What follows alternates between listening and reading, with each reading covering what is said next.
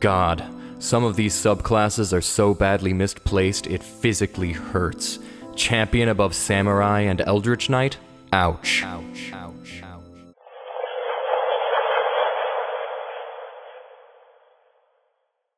Hello players and GMs, I am Reese and welcome to another video by Jetpack 7.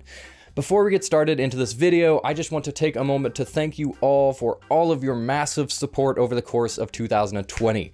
In fact, everyone at Jetpack 7 would like to extend their warmest thanks. This year has been less than ideal for everyone, but that hasn't slowed you all down in the slightest. This channel has seen massive growth throughout the year, and the book we announced performed slightly better even than Legendary Dragons, which had been our biggest success up to that point. I thought it would be fun to go back 365 days to see how much has changed, and uh, let's just say it's a lot. Since December of 2019, I have gained 2.3 thousand subscribers. For reference, I have just over 2,500 now, so that's nearly all of them. I also had 17 and a half thousand hours of watch time on my videos, which is the equivalent of watching Lord of the Rings The Return of the King around 4,200 times, and that's the extended edition. We broke 100,000 views on my videos too. In fact, we are closer to 130,000 now, so that is just incredible. I could go on, but I'll end it by just saying that this year has been one of growth in so many different ways. And when it comes to the YouTube channel and Jetpack 7 as a whole, 100% of it is because of you. So, to properly thank you all, I decided to make a video dedicated to the commenters. And I thought, what better way to dedicate a video to the commenters than to address the commenters directly? So I combed through my videos, found some comments I loved, some that made me laugh, and some I wanted to respond to, but as is the case with any YouTube channel, I've gotten plenty of not so nice comments, but hey, all comments matter, interaction is interaction, so I knew I had to include the controversial comments as well. I hope you enjoy watching the video as much as I enjoyed making it. Have you ever played a fighter? Your rankings suggest no. God, some of these subclasses are so badly misplaced it physically hurts. Champion above Samurai and Eldritch Knight? Ouch. Ouch. Ouch. Bro, you don't know odds, but okay. Illusionist as the worst? LOL, you clearly lack any creativity. He is so bad at ranking classes, it's funny. Funny, funny, funny. I don't say this to be an ass, but I think you might have a slight reading comprehension issue. I've watched several of your subclass ranking videos, and I think about 85% of your assertions are objectively disprovable. Come on, dude.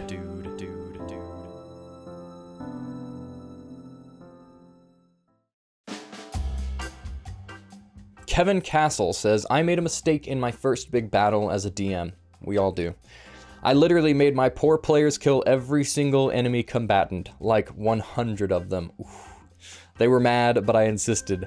Ugh, hindsight. It's alright, Kevin Castle. We've all made that mistake. I know I have. I've played in uh, campaigns where combat just kind of drags on way too long. It's not uncommon at all. And the fact that you're able to go back and look at it and understand that you made a mistake and regret it ever so slightly, that's a good sign. That means that you probably won't make that mistake in the future, which is the most important thing. As long as you're able to improve as you're DMing, that is truly what matters the most. If you haven't gotten to that point yet, if you haven't made that mistake yet, if you're wanting to, to get into DMing, then I highly recommend you watch some videos about how to run combat, maybe the one that I made before, because there are very smart people out there who have crafted incredible combat ideas, and they make YouTube videos, they write books about it. There is so much material out there to help you learn how to properly run combat and make combat interesting and fast-paced for your players, because to me, in my opinion, that is the part of D&D that can drag on the most, is just just a really long slog of combat. And we've all run one, we've all had our combat that we kind of regret, but as long as we're able to see that we made a mistake and move forward from that and hopefully not make that mistake again, or at least not often, then I think we're okay as a DM, and I think you are too.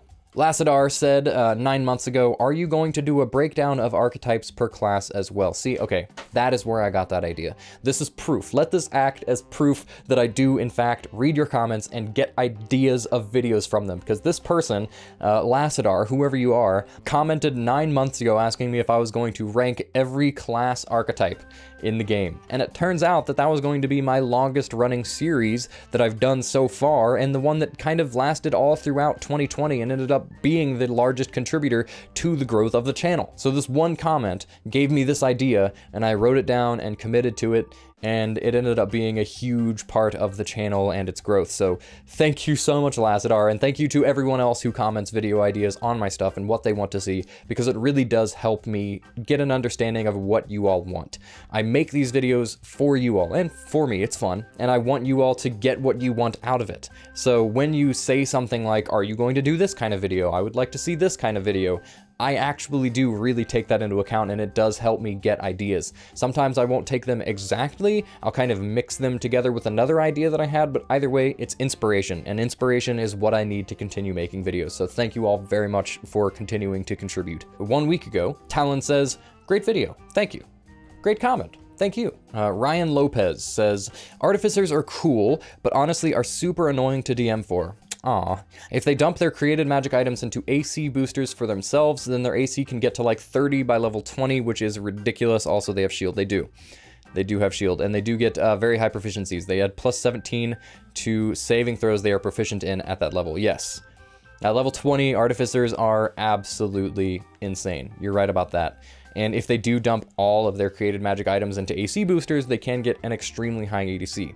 You're also right about that. That said, I've played a character with extremely high AC. It was back in one of the old UA renditions of the Stone Sorcerer, back when they would get, uh, I think they added their Constitution modifier to their AC or something, uh, and I had 20 Constitution and I think 18 Charisma on the Sorcerer, so immediately my AC was really, really high. And then I just stacked on AC items and I would use shield and stuff and my AC would get up to like 25 and I was like a level 7 sorcerer or something like that. It was absolutely ridiculous. That said, I quickly realized the weakness with high AC is that you want to wade into combat and all that, and when you stack everything into your AC, there's a couple parts of your character that are a little weaker than others. In my experience, it was namely dexterity saving throws. Dex saves are still extremely deadly, extremely common. Another thing that oftentimes ends up being pretty low is wisdom saves for dominate spells and stuff like that. Strength saves, con saves, you will have a weakness at some point, even if you stack all the way into AC. So monsters might try to attack you and it might feel kind of useless to attack that person with a monster, but if you toss a creature in there that forces them to make a dex save, they're probably not going to do so hot. Not to mention, if you do have a dominate person or a dominate monster spell or something at your use as the DM, then sicking your player with 30 AC against your party can be pretty crippling and very, very fun. as the DM, not for the party. So while I do agree that uh, some of, like, when you do have a player who's uh, kind of min-maxing really hard about stacking into AC, it can cause frustration as a DM, especially at lower levels. But like you said, at, at 20th level, that's when they really have this huge spike in power. And by the time you're at 20th level, I think AC is the least of your concerns. I have run 20th level characters and I've played in a 20th level party, and AC might as well not exist. The amount that I'm rolling when I'm DMing against level 20 characters is usually well above 30, at least well into the late 20s. Not to mention, the scariest thing that you're up against at 20th level is like ninth level spells, eighth level spells, that kind of stuff. So I'm a lot more worried about that than having a really high AC. And also, oftentimes, if you do have a ridiculously high AC, your health isn't necessarily super high. So if one hit gets through, that can really cause your character some trouble, especially when you're fighting stuff at 20th level that's going to be hitting you for like, I don't know, 40, 12 at the minimum or something. So Ryan, I can get your frustration, uh, but I personally very much like the Artificer class and I would encourage you to let your players be able to play it and maybe just steer them away from min-maxing out their AC a little bit or something like that. They have weaknesses, and it's okay as a DM to exploit those weaknesses a little bit. Put in a couple things here or there that will actually challenge your players, because it is your game, you are designing it for the players, and it's not fun if they can just skate through without taking any damage. So add in some challenges. Don't intentionally ruin their game, but give them something that will actually challenge them. Add in some puzzles, add in some stuff that isn't necessarily conventional Dungeons and Dragons. And I can almost guarantee that you won't have as much of an issue with it if you do that. So in one of my videos, I talked about the alchemical jug and how you can make mayonnaise out of it. And I asked my commenters to give me some creative uses for mayonnaise, some mechanical advantages for mayonnaise. And a lot of people talked about it being used as a grease spell, but I just wanted to highlight a few of the comments because um, this is a comment that only exists on my video. I, I can guarantee you that this comment, nothing similar to this comment has ever been said on another video. Bluebird32 said, so many good ideas for mayonnaise. You guys are really putting on a mayo clinic. Out of context, it's one of the best comments. Uh, like, one of the best YouTube comments I could possibly imagine. Shortly followed by a comment from Long Tran. I'm sorry if this is your name and I'm, I'm butchering it. Uh, I used mayo for torture. We captured a bandit and some of us had qualms against violence, so we just fed the bandit mayo every day. That's just really funny. That's great. The comments that don't help me think of new video ideas, these are the comments that I really love too. they carry with them their own special kind of value, and the fact that I have a comment section talking about the creative and deadly uses of mayonnaise, I, I really think I've made it as a content creator at that point. Andrew Hazelwood says, I really dislike the Bard concept. Aw, the tone just doesn't mesh well with most of the games I've played. Thankfully, of all the games I've played, only one person played a Bard. The only times he made much of a difference in the dungeon crawl we were playing was when he helped out in situations that only went south because our party of four was effectively a party of three with a tag along. That's so sad. The Bard is one of my favorite classes, and I see people bash it all the time, and I think there's there's kind of this playstyle associated with bards that people don't really like, which is distracting eh, the game, like kind of um, diverting the focus of the game, maybe being just a pest, maybe. People associate bards with annoying characters. And while I think it, it fits, I guess, but it's not necessary at all. You can make a cool bard. You can make an awesome bard. Not to mention, bards are so helpful in combat. I think people massively undersell how powerful a bard is in combat. Bardic Inspiration is one of the flat out strongest mechanics in the game, in my opinion, because they get so much of it. It doesn't cost them anything. They have like at least four or five uses of it ready at any given time. Some of the uses of Bardic Inspiration, like Glamour Bard's Inspiration, is absolutely insane.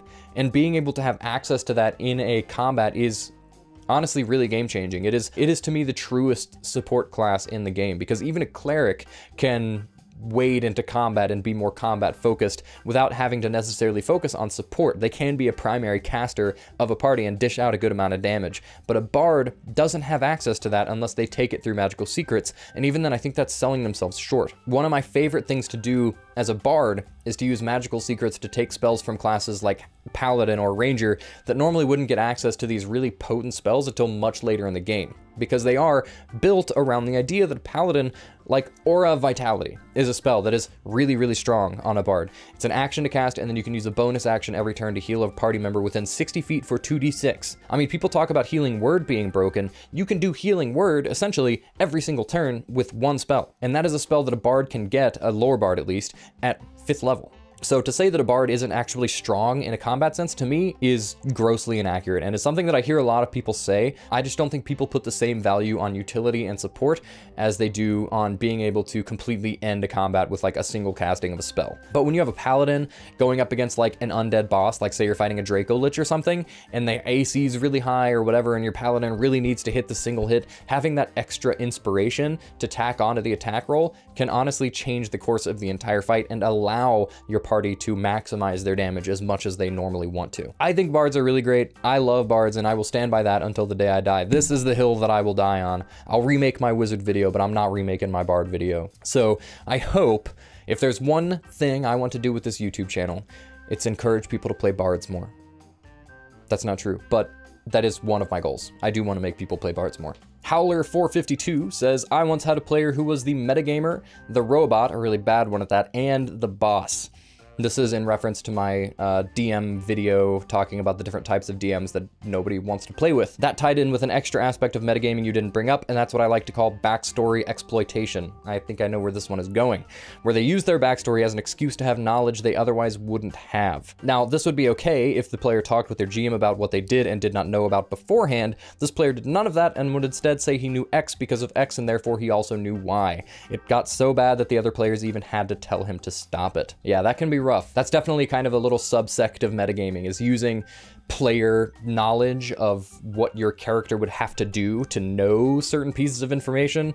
That is kind of like a it's like the next level of metagaming. It's like, well, I, I know this because my, my character would know this. But, you know, that's still, that's still, like you said, it, it is definitely still backstory exploitation. And, and like you said, again, it wouldn't necessarily be a problem if that player had confirmed it with the DM. This is something I always tell my players. If you want your character to have some sort of special backstory, some sort of special place in the world, I'm all for it. In fact, I, I encourage that. I want my players to feel like their characters are an active part of the world and that they do have a past and that they have experience and knowledge of this world that they're playing in. Even if the players themselves aren't as familiar with the homebrew setting or, or whatever setting that I'm running them in right now. I want them to feel like their characters know even more about the world than they, the players, do because those characters have actually been living in that world. So when the players come to me and they say, can my player have this sort of background and have this sort of knowledge in this specific field? I'm like, yeah, absolutely. And we will craft a story to be able to allow them to have that knowledge and be able to justify having that knowledge. However, when a player just kind of assumes that they would know certain things, it does cause me some frustration because that isn't something that we discussed ahead of time. I just want to know what the characters know so that I can introduce something and have a player kind of be genuinely confused by it. I sometimes want to be able to introduce stuff to my campaigns that my players might be familiar with, but the characters themselves have never interacted with before. And when a player is like, oh yeah, I know what that is because I've done a light investigation into Arcana or something like that, then it can be frustrating to me because then I feel like I have to shut that player down and say, no, you don't know any of this. And I don't like, I don't like telling my players no.